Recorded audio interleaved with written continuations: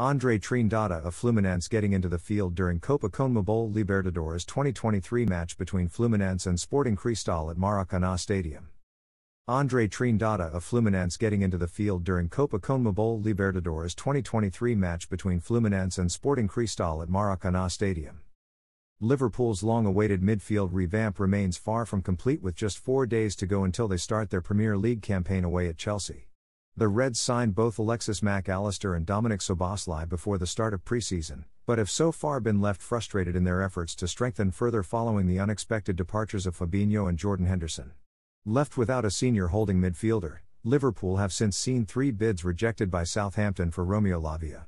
Having also lost the services of James Milner, Naby Keita, Alex Oxlade Chamberlain, and Juventus loanee Arthur Melo at the end of last season, as well as Fabio Carvalho following his loan switch to RB Leipzig, it remains to be seen if the Reds will push ahead with plans to sign a fourth new midfielder this summer.